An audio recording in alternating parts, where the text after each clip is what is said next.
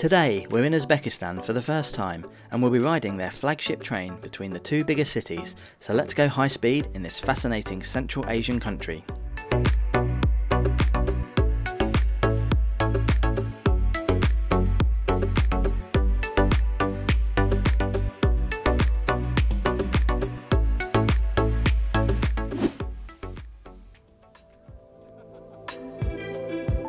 Hello, and welcome to Tashkent, capital of Uzbekistan. This was my first time visiting the Stans, and I absolutely loved it. Uzbekistan in particular offers great history, great value for money, and super friendly people. I'll definitely be coming back soon.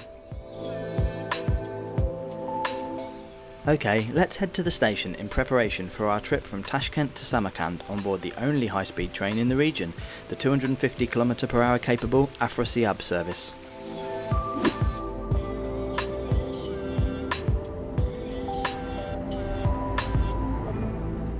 And isn't Tashkent station just stunning? This is actually a running theme in the whole country with some absolute gems of architecture and style.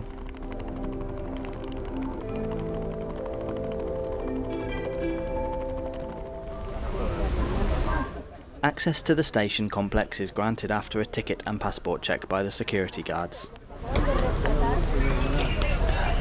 Top tip, you can bypass the paper ticket tour group queue by heading to the right hand side which is the queue for e-tickets, if you have one of course.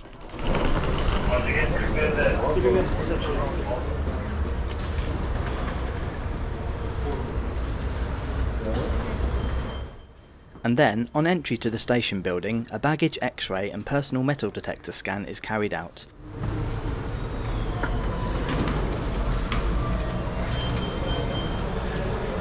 Don't worry, it's not that thorough and there's no limit on liquids, etc. Don't bring a gun though.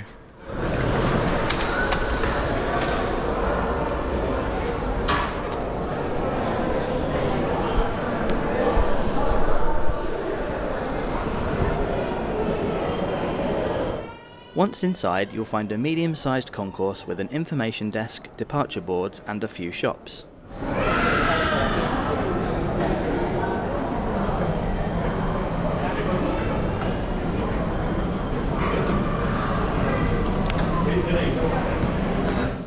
Off to the left-hand side are more shops and a waiting room.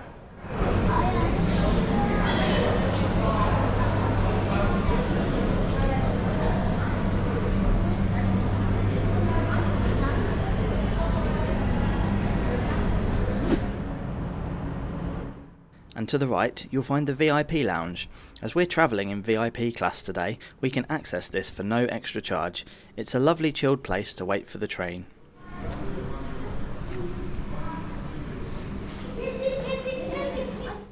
We didn't have much time to check it out properly, but I believe drinks and light snacks are complimentary. Let me know in the comments below if this is the case.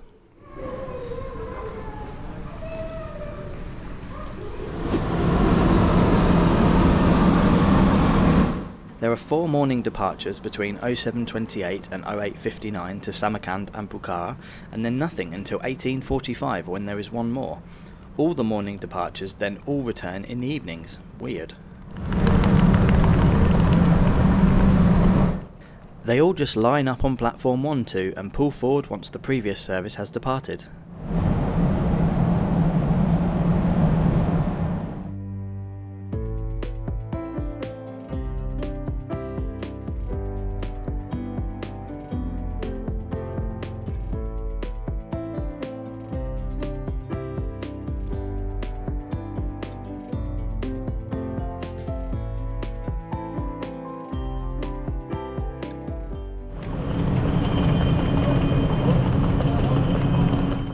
These trains are nearly identical to the S130 sets which run Alvia high-speed services in Spain.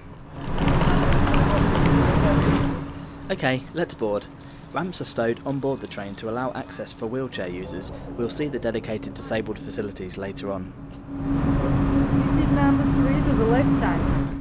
The attendant greets everyone at the door and after checking your ticket directs you to your seat.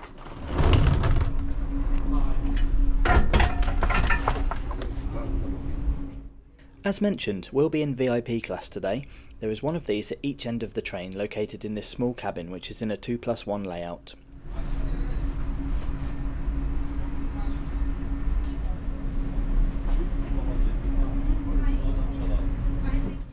There's plentiful space for luggage to be stored either on these stacks or on the large overhead racks.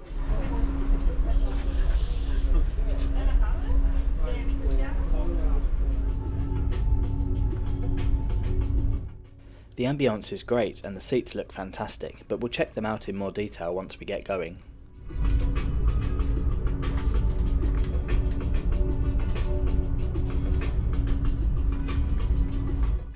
Our train today is the 0800 departure from Tashkent, running non-stop to Samarkand, a distance of 326 kilometres. It will then continue on to Karshi.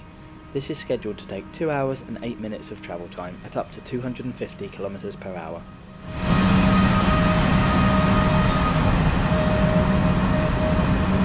The cost of the tickets on this train are as follows. VIP class is 202,000 Uzbek som, Business class is 140,000 Uzbek som, and economy is 103,000 Uzbek som.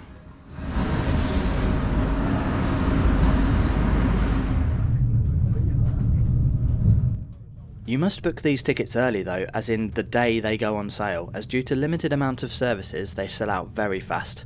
You can do this direct on the Uzbek Railways app or through a third party vendor, but expect to pay a premium for this.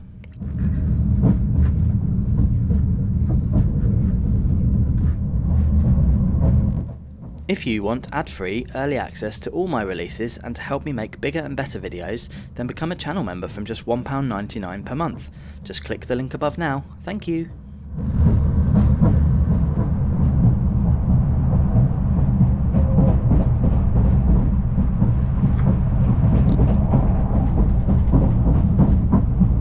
Shortly after departure, a paid trolley service begins, but I'd hold off on this for now as the complimentary food and drink service will begin shortly.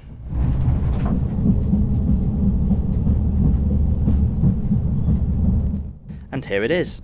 There was no choice or vegetarian option. There was a cold omelette, some meat, bread, and some salady bits, and it wasn't particularly nice, but as being included in the ticket price, I won't complain too much.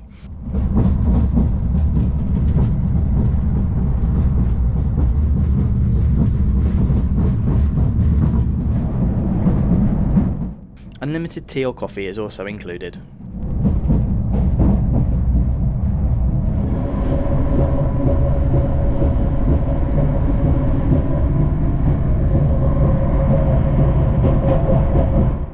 Okay, time to check out the seats here in VIP class.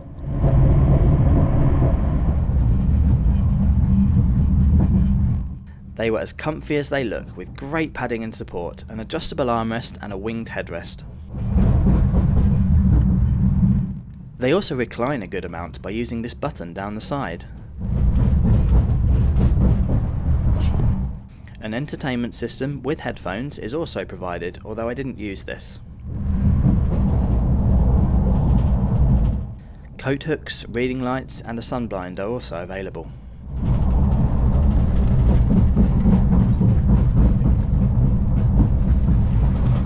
The AC vents are just below the window and this worked very well throughout the trip. This was great as it was 38 degrees outside.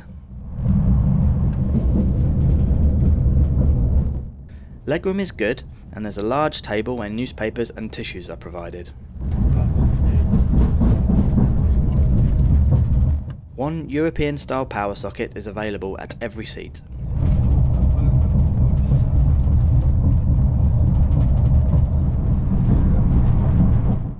One of the biggest criticisms of these trains, and Talgo sets in general, is their ride quality.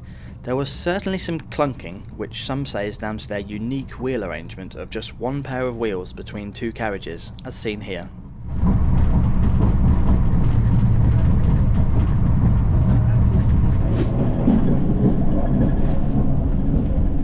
Here is a look at business class. This is in a 2 plus 1 configuration and makes up two coaches of the 10 coach train.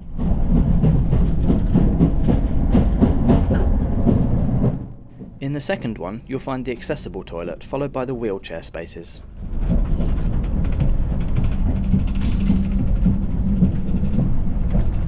Next up is the buffet, which is just counter service.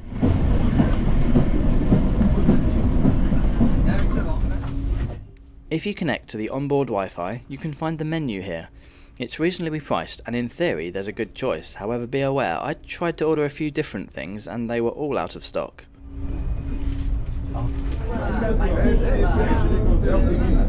You can take your purchases back to your seats, or there's also a small standing area where you can socialise with other passengers.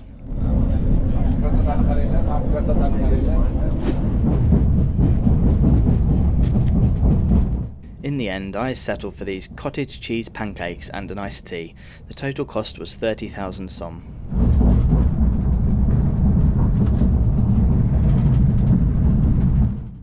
Here's a look at economy class. These are the cheapest seats on the train and still offer most of the amenities of the higher classes including good comfort and power sockets but at around half the price of VIP class. There is also much more availability.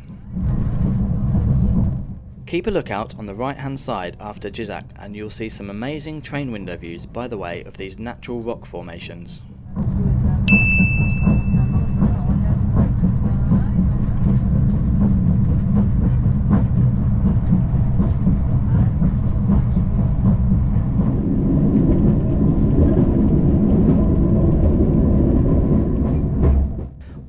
Thing I've noticed is the Uzbeks love their hilltop advertising.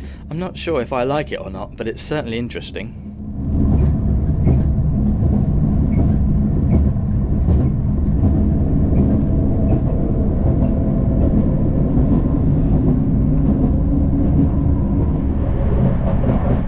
Oh, you thought I'd forgotten? Not likely. The toilets were reasonably clean, stocked up, and all working.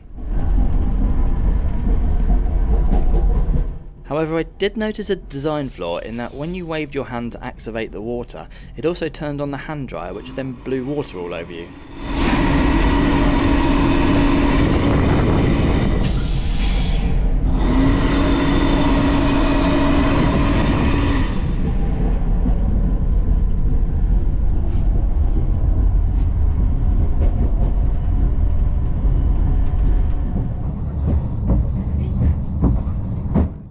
As we are now approaching Samarkand and the end of today's journey, let me summarise my experience on the Uzbek Railways Afrosiyob service in VIP class.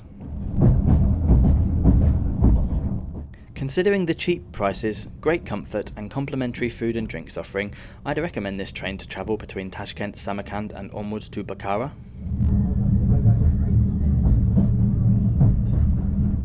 The negative points were the ride quality is not the best, and it was disappointing that the buffet was out of stock of a lot of items.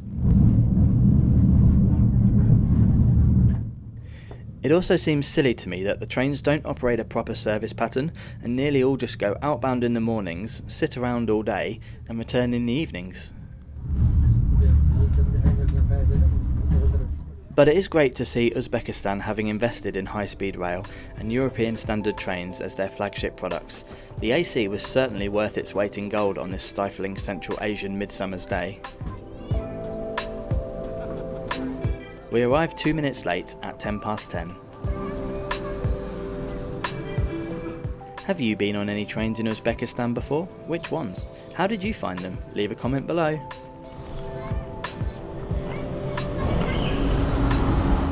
Our train now continues to Karshi. Let's enjoy the departure in full.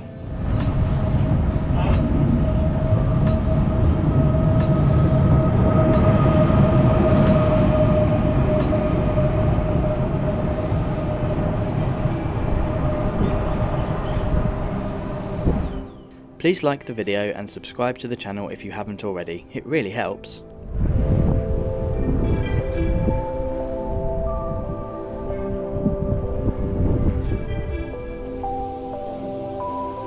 I release a new video every Friday, so thanks for watching and I'll see you next week.